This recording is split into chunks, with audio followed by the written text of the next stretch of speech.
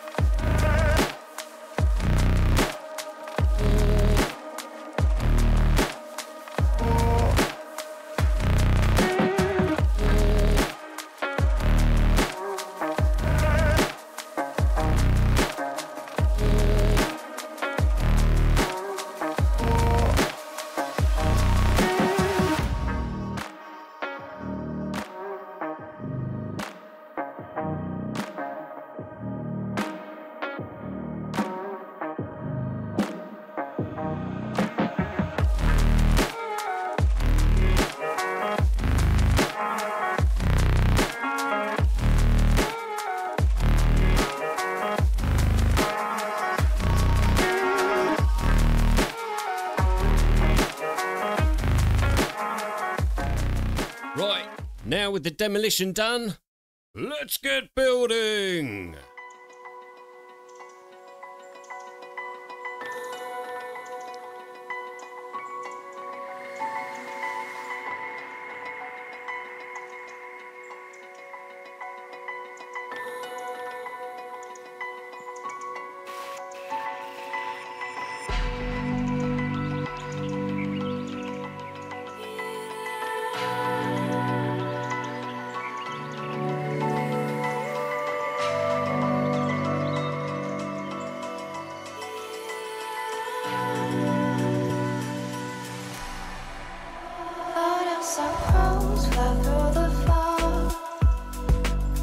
It was just my mind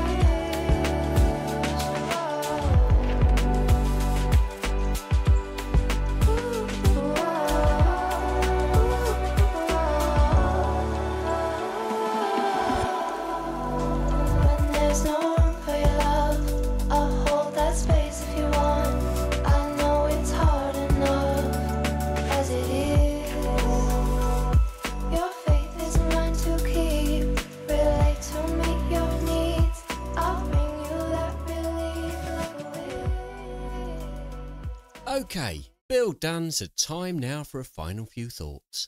I'll place my rating on the screen from 0 to 10 for build difficulty, interactive features, number of pieces for your money, and structural integrity of the model, and also place this in the description below. This is a super model with plenty of interactive features.